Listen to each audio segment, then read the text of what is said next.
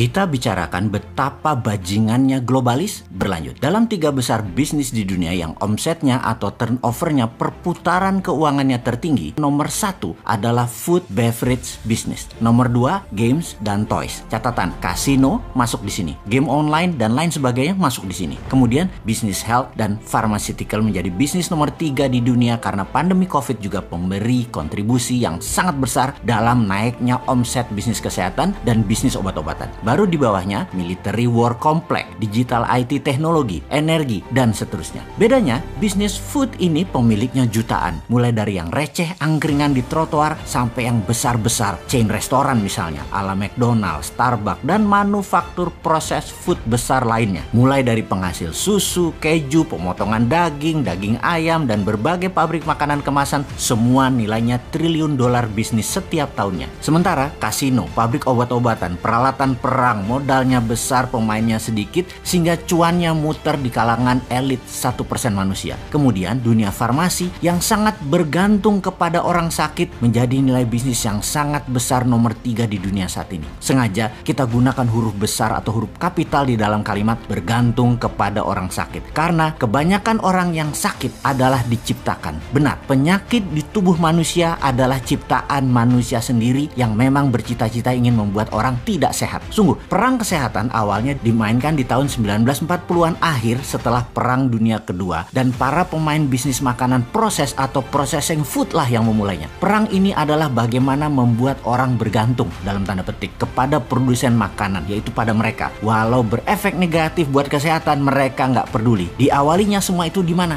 Di Amerika. Protein dari binatang seperti telur, susu sapi dianggap baik buat manusia. Juga daging atau red meat dianggap membuat protein binatang itu sangat cocok dan baik buat manusia menjadi kuat. Itu disebut propaganda. Studi terbaru ternyata ini semua mitos. Telur dan susu binatang tidak terlalu baik buat manusia dalam jangka panjang dalam jumlah besar. Lalu propaganda seperti real man eat meat atau lelaki sejati pemakan daging ternyata protein hewani berlebihan banyak menimbulkan masalah jangka panjang seperti darah tinggi, diabetes, jantung, kolesterol, dan kanker. Propaganda kencang tadi memang diciptakan para produsen makanan kemasan dan industri daging, telur, susu agar mengarahkan pikiran bawah sadar jutaan manusia dan sekarang sudah miliaran manusia berpikir bahwa daging, susu, telur adalah makanan ini baik untuk kita dan baik untuk kesehatan kita. Bahwa makanan hewani dari hewani terbaik buat tubuh manusia. Efeknya ketika berlebihan ternyata banyak penyakit yang timbul sebagai efek langsung memakan meat, daging juga poultry, daging unggas yang berlebihan dikonsumsi juga gula atau sugary drink dengan efek darah tinggi, kolesterol, kanker, dan diabetes. Lalu muncullah asosiasi terkenal di Amerika yang mengedukasi tentang kesehatan dan kesembuhan bagi mereka yang terkena diabetes, kena kolesterol, kena darah tinggi, serta kanker. Ada American Diabetes Association, ada American Cancer Association, ada American Heart Association. Cita-citanya mulia untuk membuat dunia dan berbagai penyakit tersebut hilang. Namun yang aneh ternyata di luar obat-obatannya yang harus dikonsumsi, ternyata makanan yang direkomendasikan adalah makanan yang malah membuat manusia tetap berpenyakit tersebut, bukan menyembuhkan. Alih-alih keheranan baru terungkap beberapa tahun ini bahwa sponsor asosiasi tersebut ya para produsen makanan juga yang makanannya yang sumber penyakit tersebut. Efeknya dunia farmasi dan kesehatan diuntungkan. Seumur hidup manusia yang terkena makanan tidak sehat tadi akan pakai obat-obatan kimia seumur hidup seperti obat darah tinggi, obat gula dan lain sebagainya akan dipaksa semua manusia yang menderita tersebut memakan obat seumur hidup oleh dunia farmasi dan oleh dunia kedokteran. Sehubungan dengan itu semua, ada sebuah challenge menarik bagi sahabat jika ingin membuktikan apa yang dikatakan semua itu adalah benar. Kita akan buktikan kalau bersama tantangan ini kolesterol Anda akan turun menjadi normal, gula darah Anda akan menjadi normal, tensi darah Anda akan turun. Beranikah Anda melakukannya? Gerakan ini anti globalis banget, yaitu makan makanan selama dua minggu ke depan semuanya plant